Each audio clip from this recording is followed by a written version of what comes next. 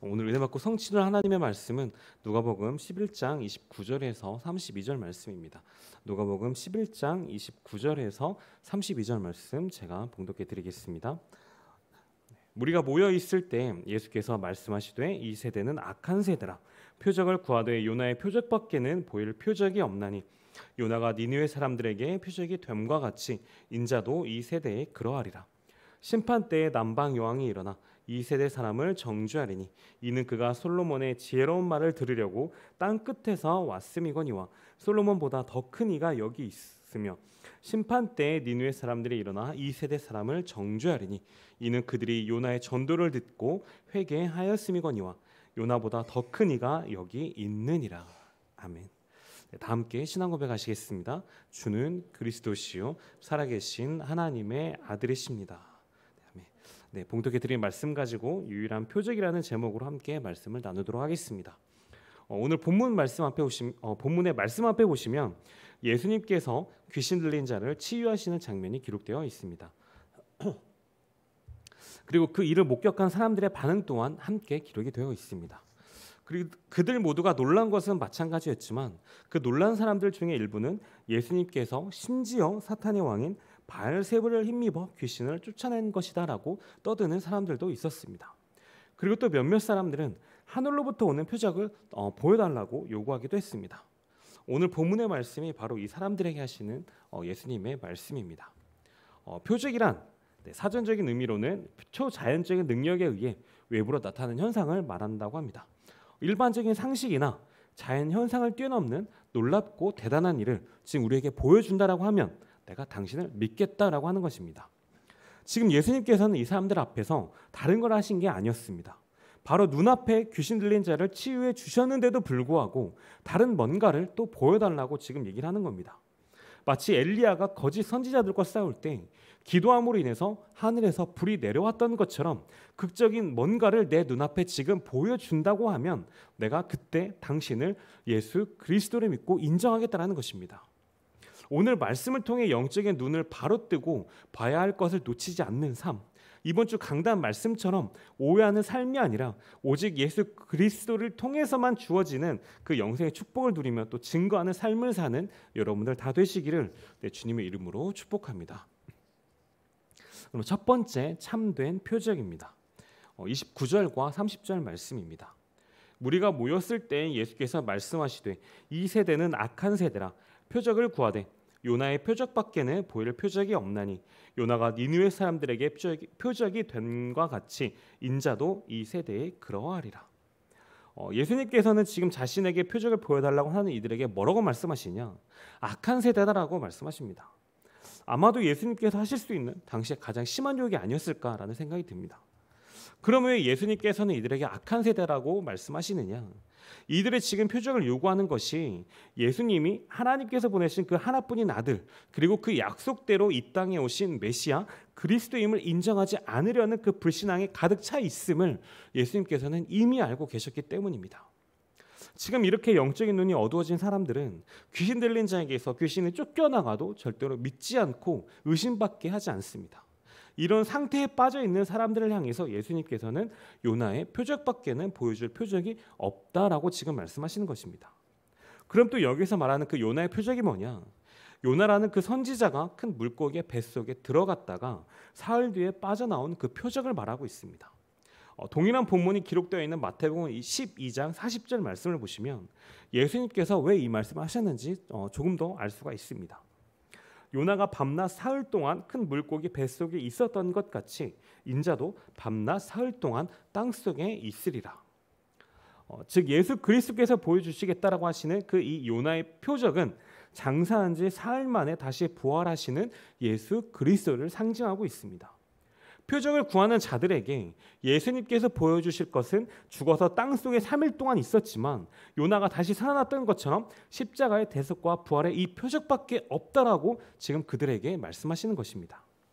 이처럼 우리가 살아가는 그 모든 순간 가운데 또 과거와 미래를 통틀어서도 예수 그리스도의 십자가의 죽음과 부활만큼 최고의 기적과 또 최고의 표적은 없습니다. 우리가 살아가면서 맞닥뜨리는 모든 문제와 사건, 또 어려운 상황과 환경은 아까 말씀드린 것처럼 위에서 어떤 불이 내려오고 하는 등의 믿지 못할 무언가를 봄으로 인해서 해결되는 것이 절대로 아니라는 것입니다. 오직 하나님께서 하신 그 말씀과 하나님께서 하신 그 약속대로 참 왕, 참 제사장, 참 선지자 그리스도로 신 그 예수님을 통해서 십자가의 대속과 부활을 믿음으로써 해결받을 수 있다라는 사실을 지금 예수님께서 우리에게 말씀해 주시는 것입니다. 이게 바로 뭐냐? 예수님께서 말씀하신 참된 표적이라는 것입니다. 요한복음 8장 44절 그 거짓말쟁이이자 거짓의 아비인 사탄이 지금 어떻게 하고 있냐? 마태복음 24장 24절 말씀에 거짓 그리스도와 거짓 선지자를 세워서 큰 표적과 기사를 보여주기도 하고 할 수만 있으면 택하신 자들도 미혹한다라고 말씀하시는 겁니다. 즉 계속해서 이미 하나님의 자녀된 우리까지도 공격을 하고 속이고 넘어뜨리려고 한다는 한다라는 것입니다. 심지어 표적도 보여주겠다라고 말씀하십니다. 그 일을 위해 거짓 그리스도와 거짓 선지자까지 세워서 준비를 하고 있다라는 것입니다. 하지만 거기에는 절대로 생명이 없습니다. 어떻게 해서든 우리를 지옥으로 끌고 가려고 하는 그 사탄의 최후의 발악인 것입니다. 온갖 방법을 동원하여 우리를 속이고 넘어뜨리려고 하는 것입니다. 구원 받았으니까 천국은 물론 가겠지만 이 세상 삶의 모든 순간이 지옥과도 같은 삶일 것입니다.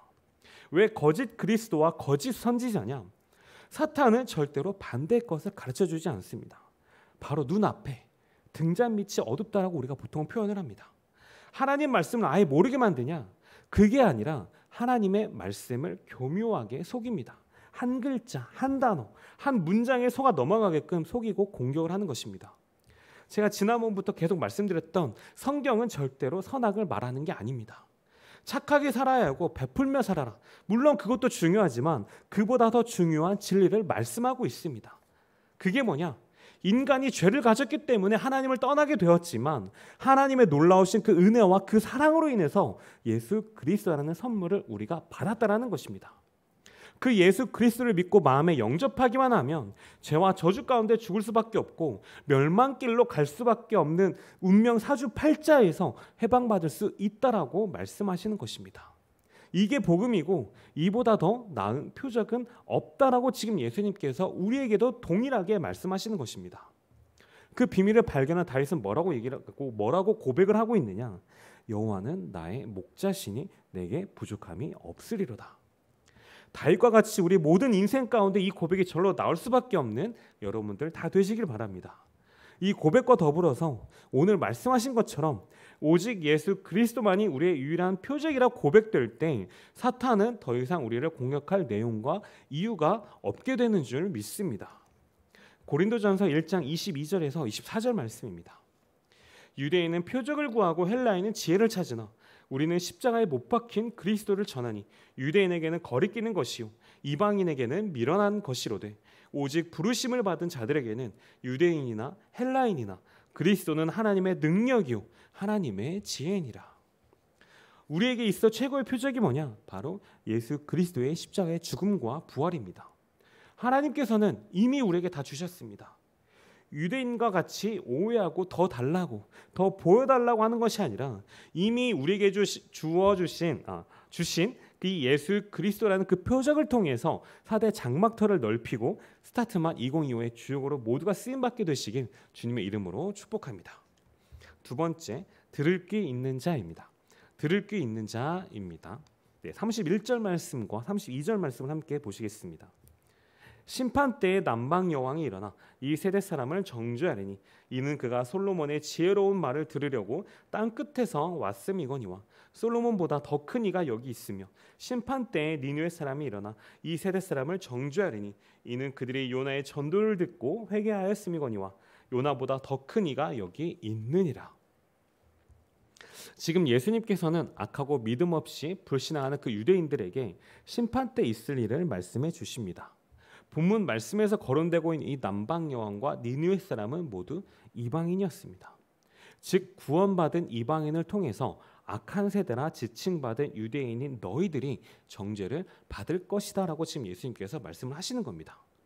특히 지금 언급되고 있는 이 남방 여왕은 열왕기상 10장의 스바 여왕을 말합니다. 스바라는 곳은 현재 아라비아 반도 남쪽 끝 사우디아라비아 어, 밑에 있는 오늘날의 그 예멘이라는 나라를 가리킨다라고 합니다. 그 멀리서부터 하나님께서 주신 솔로몬의 지혜에 대한 소문을 듣고 직접 확인하고자 스바요 왕이 찾아올 정도였다는 것입니다. 그리고 그 솔로몬을 대면하여 하나님께서 주신 그 지혜를 확인하고 크게 감동한 스바요 왕이 열왕기상 10장 9절 말씀을 보니까 뭐라고 고백하고 있냐? 당신의 하나님 여호와를 송축할지로다라고 고백하며 돌아갈 정도였습니다. 특히 성경 말씀 표현에 따라서 이곳을 땅끝이다라고 표현할 만큼 땅끝까지 소문난 솔로몬의 지혜도 어마어마했지만 그 얘기를 듣고 확인해 보겠다라고 땅끝에서부터 200km가 넘는 그 이스라엘을 찾아올 만큼 그 여왕의 열정도 대단했다라는 것입니다. 그런 열정에 비하면 지금 이 유대인들의 태도는 너무나도 완악했고 솔로몬과는 비교조차 할 수 없는 그 하나님의 아들이자 지혜의 근본 되신 그 예수님께서 지금 눈앞에서 그들 눈앞에서 귀신을 쫓아내시고 직접 말씀을 선포하신데도 불구하고 들을 게이 유대인들은 오히려 예수님을 배척하고 심지어 어, 핍박까지 했습니다. 어, 그런데 지금 이방 여왕, 어, 이방인인 스바 여왕, 이 남방 여왕이 하나님의 백성이라고 하는 너희를 정죄해도 너희가 할 말이 없을 것이다라고 예수님께서 말씀하시는 것입니다. 그리고 또 요나가 니느웨에 가서 회개해라. 회개하지 않으면 하나님께서 40일이 지나 이 니느웨를 다 무너뜨릴 것이라고 하나님께 들은 그대로 가서 말씀을 선포했습니다. 이에 니느웨에는 대대적인 회개 운동이 일어났고 또 하나님께서는 역시나 그들을 멸하지 않으시고 어, 용서해 주셨습니다. 이처럼 요나의 말을 들었던 이방인은 니누의 사람들은 회개하고 용서를 받았는데도 불구하고 요나보다 더 크신 하나님의 아들로서 그리스도로 오신 그 예수님의 말씀은 왜 듣지 않냐라는 것입니다. 왜 받아들이지 않고 표적을 보여달라는 둥 허튼 소리를 하고 있냐라는 것입니다. 그러니 그 사람들이 일어나 너희를 또 정죄해도 똑같이 정죄해도 너희는 할 말이 없다라는 것입니다. 말씀을 들을 때 이 남방 여왕처럼 또 이 니누의 사람들처럼 들으시길 바랍니다. 이게 무슨 말이냐? 말씀을 듣고 200km가 넘는 곳까지 찾아갈 만큼 그러한 열정을 가진 전도 제자 어, 되시길 바란다는 뜻입니다. 앞에서 또 좋은 얘기 해주나 보다. 거기서 멈추지 마시고 말씀에 선포된 대로 그 열정을 가지고 열정적으로 복음을 증거하시는 전도자 여러분들 다 되시기를 바랍니다. 그리고 니누의 사람 하나님의 말씀이 선포되자마자 그들은 즉각적인 회개 운동을 통해서 하나님께 용서를 받았던 어, 사람들이었습니다.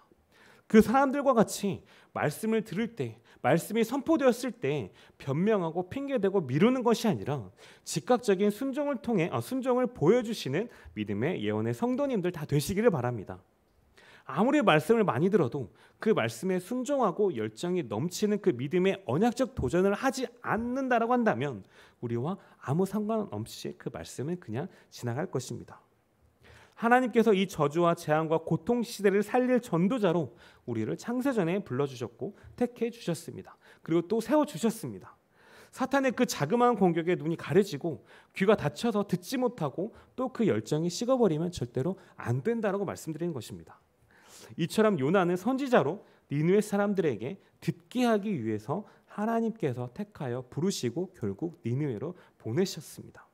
그리고 남방 여왕은 솔로몬의 소문을 듣고 또 들으려고 땅 끝에서부터 찾아왔습니다. 뭘 듣고 싶었냐? 열왕기상 10장 8절입니다. 복되도다 당신의 사람들이여 복되도다 당신의 이 신하들이여 항상 당신 앞에 서서 당신의 지혜를 들음이로다. 여기서 복되다라고 말하는 그 지가 뭐냐? 솔로몬의 말을 얘기하는 것이 아니라 바로 하나님의 말씀을 얘기하는 것입니다. 그리고 예수님께서는 누가복음 10장 24절 말씀에 또 뭐라고 말씀하셨냐? 내가 너희에게 말하노니 많은 선지자와 임금이 너희가 보는 바를 보고자 하였으되 보지 못하였으며 너희가 듣는 바를 듣고자 하였으되 듣지 못하였느니라. 오래전 많은 선지자들과 그 임금이 기대하고 꿈꾸었던 복을 보고 들 수 있다라는 것이 남방 여왕의 이 고백처럼 복되고 복된 일이라는 것입니다. 마가복음 4장 22절 말씀에 또 뭐라고 얘기하느냐? 들을 귀 있는 자는 들으라라고 말씀하고 있습니다. 이 유일한 표적 되신 예수 그리스도의 그 참 복음을 우리만 듣고 끝내는 것이 아니라 6월 16일 주일 단기 결석자와 또 세가족 초청 주일에 더 많은 사람들이 듣는데 열정과 순정으로 언약적 도전을 하시는 여러분 다 되시길 바랍니다. 그래서 정말 구호로만 떠드는 것이 아니라 구호로만 떠드는 사천망대 운동, 237치 운동이 아니라 스타트만 2025가 아니라 누구보다 더 그 4대 장막틀을 넓히면서 스타트만 2025의 주역으로 쓰임만의 여러분들 다 되시기를 주님의 이름으로 축복합니다. 네, 그럼 결론입니다. 이 세상의 많은 사람은 아직도 창세기 3장 말씀, 그 창세기 3장의 그 사탄의 속임수 아래 발버둥 치면서도 자신이 왜 발버둥을 쳐야만 하는지, 왜 그렇게 발버둥을 치면서도 벗어날 수 없는지 전혀 알지 못하고 고통과 저주 속에 살아가고 있습니다. 이번 주 강단의 말씀처럼 행위나 노력이 아닌 예수 그리스, 도를 통해서만 주어지는 그 구원과 신분의 변화, 또 영생의 축복은 전혀 알지 못한 채 오해, 오해를 낳으면서 살아가는 사람들이 너무나도 많이 있습니다. 인간 스스로는 이 문제에서 절대로 빠져나올 수가 없기 때문에 하나님께서는 예수 그리스도를 우리에게 보내주셨고 이 비밀을 아는 우리를 통해서 디모데전서 2장 4절 지구상의 모든 사람을 구원받게 하시려고 하시는 것이었습니다. 우리를 요나와 같이 보내서 모든 이들에게 복음이 증거되기를 원하신다는 것입니다. 모든 사람이 복음을 듣게 하기 위해서 우리를 택하셨다는 것입니다. 이 영적 우선순위를 분명히 하는 그 삶을 통해서 영원한 그리스도의 절대 방대를 견고히 세우며 또 하나님께서 주시는 완전한 축복을 온전히 받아 누리시는 여러분들, 예언의 모든 성도님을 되시기를 주님의 이름으로 축복합니다.